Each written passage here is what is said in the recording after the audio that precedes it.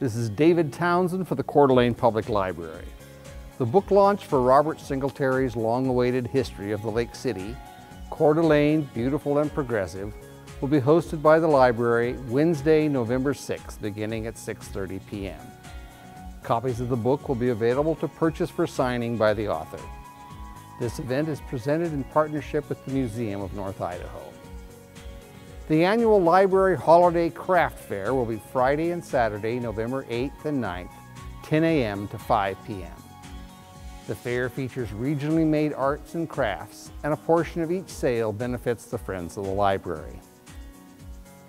November is National Novel Writing Month, and would-be authors are encouraged to write a 50,000 word manuscript between November 1st and November 30th. The Scribblers Society Writing Club wants to help. Each Friday through November 22nd, the club will be set up at the library with prompts and refreshments from 3.30 to 6 p.m. The club will also meet at its regular time, November 25th at 3 p.m. for the same purpose. A writing room will also be open each Sunday in November, 12 to 5 p.m. in support of the goal. Fall reading programs for children continue in the Seagraves Children's Library and offers groups for all ages from newborn to school age to family reading activities. Teens can check out the Sketchbook Club on Tuesdays, Teen D&D on Thursdays, and Library League of Legends on Fridays, all beginning at 4 p.m. There won't be a Teen D&D on Halloween evening.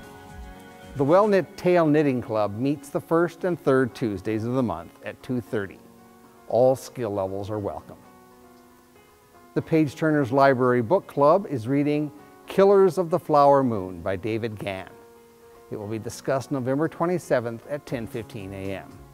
Copies of the book are available to check out at the Research and Information Desk, and book club discussions are open to all adult readers.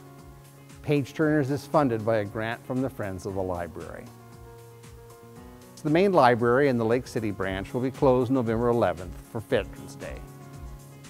For more information on library activities, visit www.cdalibrary.org and click on the events link for our online calendar.